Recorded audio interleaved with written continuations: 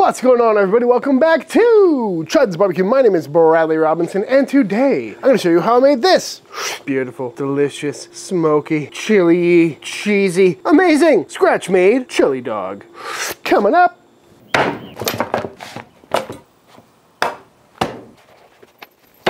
This is some meat. Ooh pat it dry. And what I got here is a beautiful chuck roast as well as some chunks of some pork butt. And in the past when I made hot dogs, I usually go all beef, but today I decided we do a beef and pork mixture and see how it comes out. But just like every other sausage making video, we got to start by cubing this stuff up. That way it chills down a lot quicker in the freezer as well as fits through the grinder a lot easier. And when it comes to beef versus pork ratios, it's kind of up to you. I'm going to shoot for a little bit beef heavier, but you know what? We're going to just see how it works out today. But going for a five pound batch. So if I need any extra beef, I also just trimmed a brisket not too long ago. So got some brisket scrap I might throw in there as well. Very nice. And as you can see, this chuck is pretty fatty and all this pork is very fatty as well. So I'm hoping that our fat ratio will just kind of work itself out. So I'm going for three pounds of beef to two pounds of pork fat. It's always nice when you can find the stuff that's already chunked up for you. Save you a little knife work. And just like that, five pounds of beef and pork ready to go into the freezer for the next 30 minutes or so to get nice and cold. While we wait for our meat to chill down, let's go ahead and get our spice blend together. Starting with one bag of nice and plump Chud's Barbecue Sausage Starter Mix. Going in, followed by some pink curing salt, number one. Because remember, there's no curing salt in the sausage mix. And then some classic hot dog flavors like some mace, some coriander, some celery seed, and some marjoram. And that's it. All the salt and milk powder and everything else that I like to put in sausage is already in the mix. But if you don't have this mix, you can also check out some of my previous hot dog videos where I have other recipes written out that work just as well. And we're good to go. Going through the small die today. And just like that, our meat is nice and chilled, coming out of the freezer. Not completely frozen because then it would clog up the grinder, but really nice and cold. So we're gonna send it through the small die right now. I'm also gonna periodically chip through some of these ice cubes. This is 10% weight of the amount of meat, so 226 grams of ice that we're gonna send through along with this meat to make sure everything stays nice and cold, which is especially important when making hot dogs or any emulsified sausage. And there we go, nicely ground up. Although it's like 108 degrees out here right now, so we're gonna go ahead and temp this. And we're right about 33 degrees, 37 in some parts. So I'm gonna pop this back in the freezer before we do our second grind for just a little bit. And now that it's nice and chilled, we're gonna go ahead and add in all of our seasoning. Oh yeah. And just get that as evenly incorporated as possible. But like I said, we're sending this through the grinder again, so that'll also help distribute all these spices. And now, through we go again. As you can see on the second grind, it's already starting to look a little bit more like a hot dog.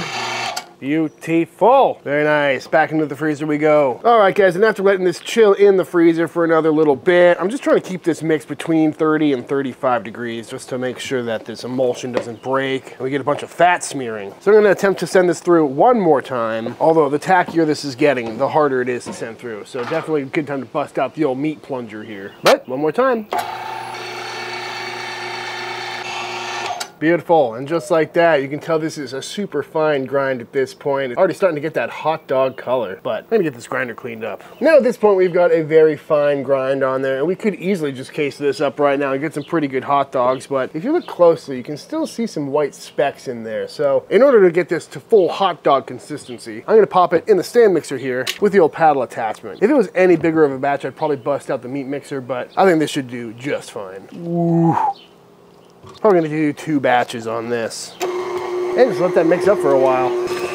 And after just a few minutes, the stuff is starting to look rather unappetizing, but it's the proper consistency, kind of like a meat mousse situation. There you go, folks. That's what hot dogs are made of. And as you can see, over here is the one we just mixed, and over here is the one that I haven't mixed yet, and you can really tell the difference between the consistency. Much smoother. So now we'll do the rest. Beautiful.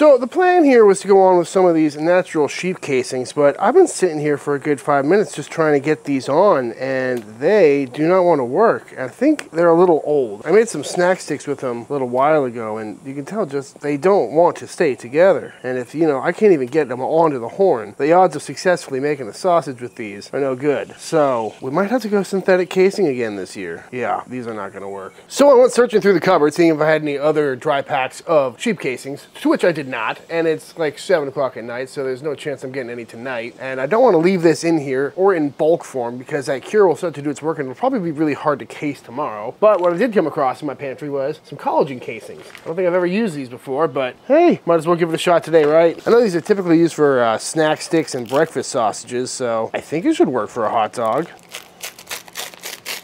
This is weird. Snip the tip. High it off. Is not looking good. Pretty thin. What are these, 22 mil? Eh, I think that should be all right. And there we go. We got two little weens. Not too confident in these, but hmm, I guess we'll see what happens. Going for some pretty long dogs today. Not quite foot longs like we did last year, but you know, enough that they'll hang out of the bun a little bit. These are pretty nice though because they definitely don't want to pop. So you can make them nice and plump. Not too shabby. All right, good news folks. When I was in there poking around just now, after making several of these guys, I found some really small hog casings. These are I think 28 mil. So I'm gonna try one of these out and see if they're too fat for a hot dog. But you know what? I don't want to make them all out of collagen casings just to realize that it's a total fail. So might as well give these a shot. oh yeah, those are nice and plump. It's like last summer's video, some real thick hot dogs. Tell you what, for being a size smaller than the casings I usually use, those look exactly the same. Great. And while we're experimenting with different casings, might as well bust out the tried and true cellulose casings. These are how you make traditional skinless hot dogs. Done this a couple times in the past. Nice and plump. And just like that, folks, all of our weens are cased up. So now into the fridge they go overnight to let that cure do its thing. This video is brought to you by Bespoke Post. Bespoke Post is a monthly membership club delivering boxes of top shelf goods from under the radar brands. In addition to their membership boxes, they also allow you to purchase individual items from their online store. Items ranging from outdoor gear, barware, home and kitchen goods, and many more. Their online shop is a treasure trove of gear from small brands you may not have heard of, and they're committed to quality and craftsmanship, and many are small-based businesses businesses based right here in the US. The store is updated each week with new stuff. The item I got is the Cocktail Smoking and Infusion Kit. Made by a company called Marcellin, what you get is this cool little glass cloche, a nifty nifty little butane lighter, and a beautiful wood base plate. Grab some wood chips, throw in your cocktail glass, fill it up with whatever you like. Grab your little torch here, get this lit, throw it on top, and begin to smoke whatever it is you like.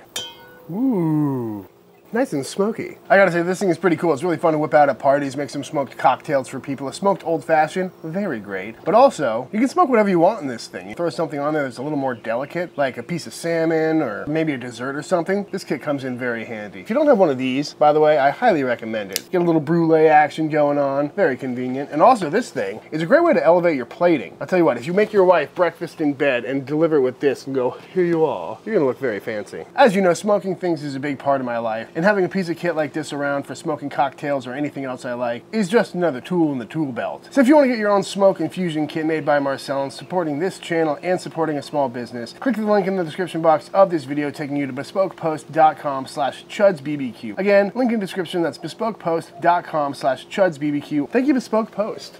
One, overnight later, these dogs are looking great. You can tell they've changed color a little bit. That cure has done its work. They dried out a little bit in the refrigerator. And now it's time to fire up the pit.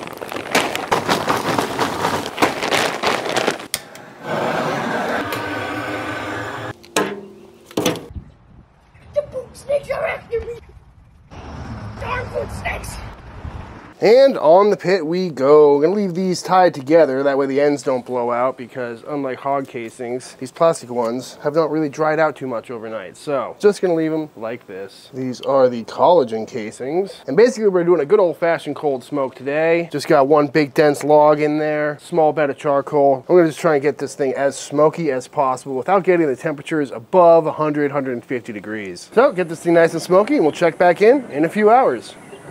Next up, let's make some buns. Starting by going into our stand mixer with some warm milk, active dry yeast, some sugar, as well as two eggs plus one egg yolk. In, give that a little mix. And then we're going in with our bread flour, some dough conditioner, that just helps make this bread extra soft, as well as some milk powder. I like adding this. It kind of acts like a tangzhong would. Not really, but it also helps make the bread a little bit softer and a little bit sweeter. And of course, got to top it off with some salt and let that come together for a couple minutes. And once a shaggy dough like this has formed, we're gonna go in with our softened butter. Beautiful. Now let this mix for about six to eight minutes. Ooh, beautiful, smooth, supple dough. Ooh, she's sticky. Beautiful stuff, I tell you what. And now into a grease bowl, this goes. And let this rise for about an hour, hour and a half. One hour later, you can see this dough has doubled in size, looking nice and plump. So, out it comes. Ooh, pat out all that air. And now we're gonna divide it up into some dough balls, weighing in at about 65 grams a pop. 61, not a bad first try. Perfect. And then we're gonna take our little dough pieces, fold all the corners to the bottom for a nice smooth top, and give it the old table roll, and onto a sheet tray we go. And we're gonna let these rest for about 10 minutes. Now that these have relaxed a little bit, they've gotten a little bit more used to their new form, what we're gonna do is flip these over, kind of tuck them in towards themselves a little bit, and just really start rolling these out into some hot dog shapes. Well, hot dog bun shapes anyway. I'm gonna flour this real quick.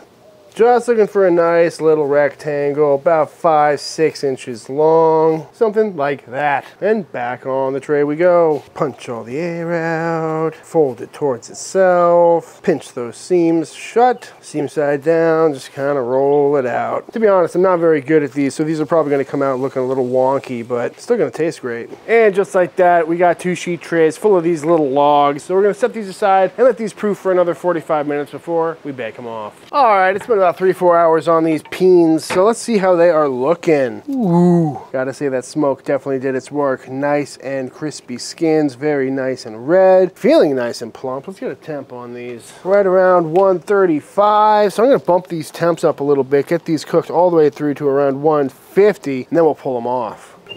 And after just a little bit, these things are temping right and coming off the pit. Ooh, nice and red kind of toasty. Drop these into an ice bath to stop the cooking process, cool them down rapidly, as we typically do. Gotta say, these guys are looking real nice. And I'm not sure if I should do it with the collagen casings, because, you know, collagen and water and whatnot, but maybe I'll try it with these two and see how it goes. And after a nice proofing, these hot dog buns are looking good, nice and plump. So I'm gonna go ahead and hit these with an egg wash. This is just a couple of eggs with a splash of water. I'm worried these might be a little too plump, but hey, we got plenty of dogs. And it's also at this point you could go on with some extra topping, sesame seeds, poppy seeds, bagel spice, you name it, but I think I'm gonna just keep these pretty simple today, seeing how we've got a lot of toppings going on to these dogs. Beautiful. Now into a 350 degree oven these go for the next 25 to 30 minutes. While our buns bake, we're gonna make ourselves a very quick, super simple Texas style chili for our chili dogs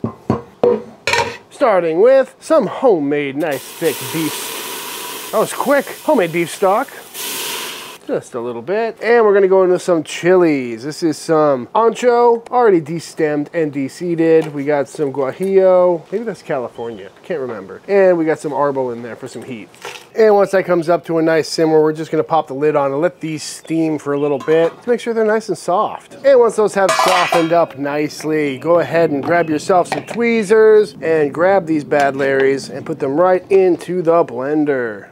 Then with a little more stock just to make sure this blends up nicely, pop the lid on and get our chili paste ready.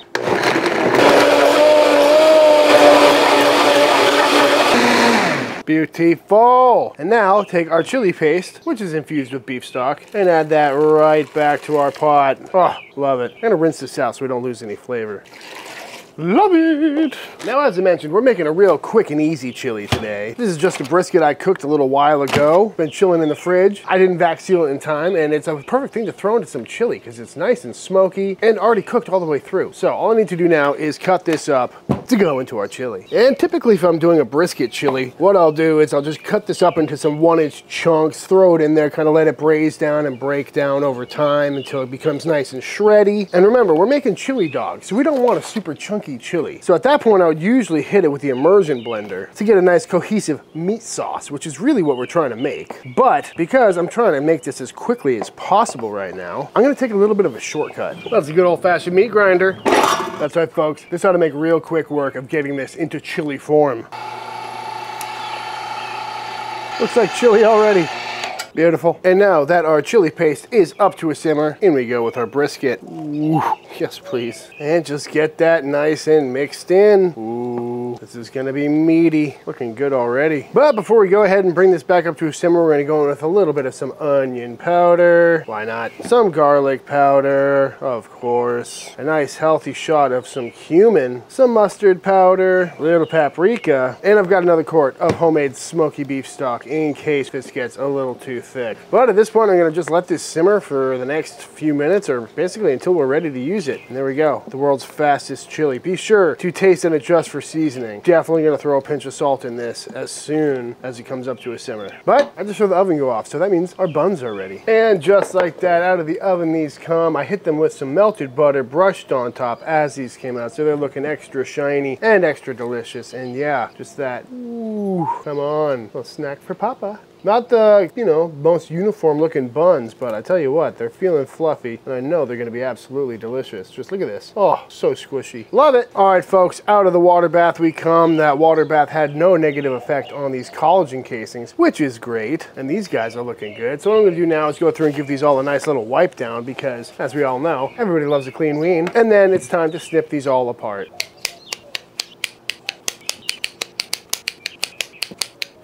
So on my left here, I've got all the collagen casings plus the hog casing gigantors over here. Feeling nice and plump, must say. Love the color on these. All of them, really. And then these are all the ones that were in the cellulose casing, which we need to now take off because it's not edible and it could not be simpler. There we go. Beautiful little hot dog. Find the tip, give it a snip, and slide it right on out. This is the true casingless hot dog. This is how they make every hot dog you're gonna see at a gas station. No casings. Got the little butthole end on there. Ah, so cute.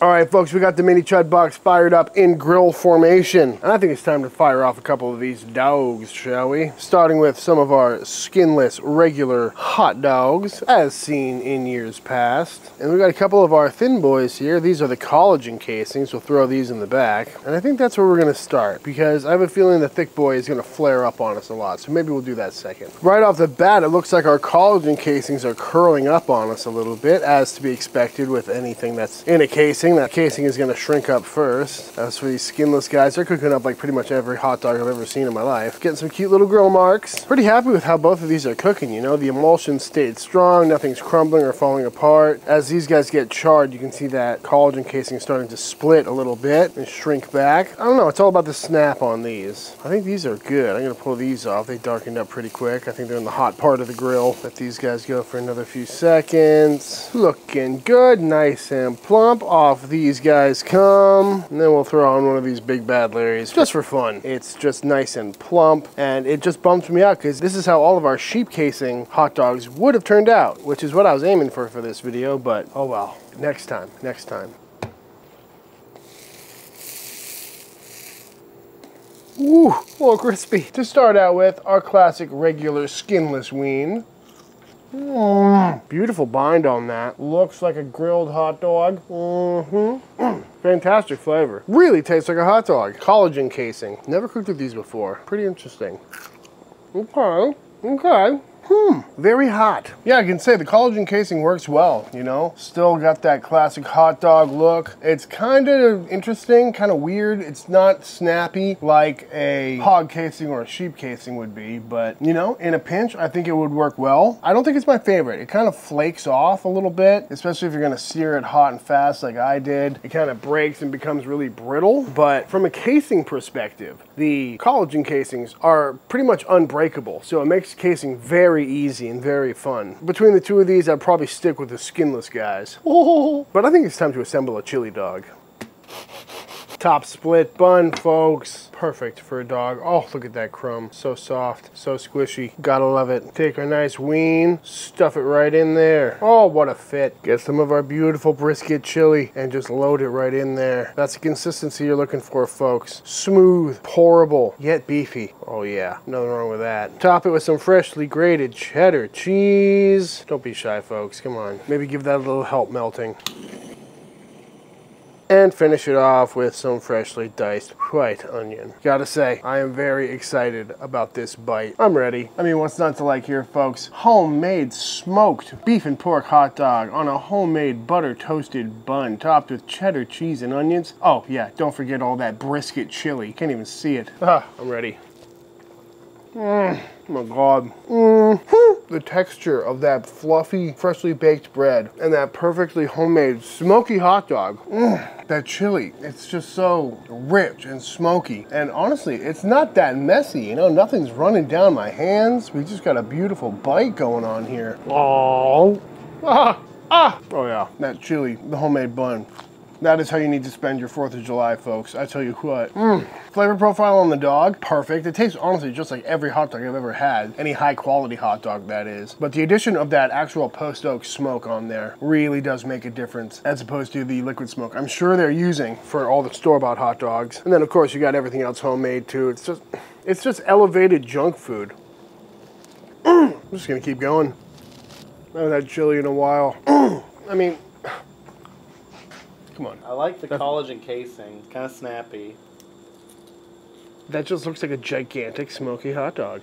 That is a dog if I've ever had one. Ready for a chili dog? Ready. Let's go.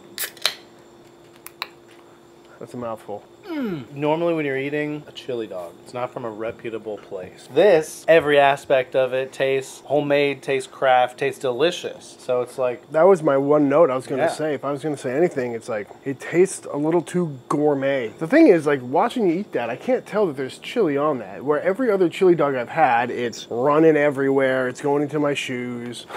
my beard is a mess. People are going to give me a lot of poop about that in the comments. The smooth chili, but I don't want chunks. Let them talk. We have the satisfaction satisfaction of being right. but that's the thing is that you could make a chunky chili. I love a chunky brisket chili, but not on a hot dog. Yeah. Is there any more American Fourth of July dish than a chili dog? I don't think so. I think maybe just a traditional hot dog. You know, with as like long as it's in the ketchup. dog family. Yeah. yeah. Anyway, God bless America. All right, folks, with this last onion-free bite of chili cheese dog, I think it's time for the official taste test. I don't know how folks, but I somehow lost the footage of the very end of this video. So if you enjoyed this video, let me know by hitting that subscribe button. Let YouTube know by dropping a like on this video. If you give this recipe a try for yourself, be sure to tag me on Instagram at Chud's Barbecue. I love to see what you're all cooking. Big shout out to all the Patreon members. Thank you for supporting Team Chud and allowing me to keep making all these videos. And until the next time I see you, please go cook something outside. Peace!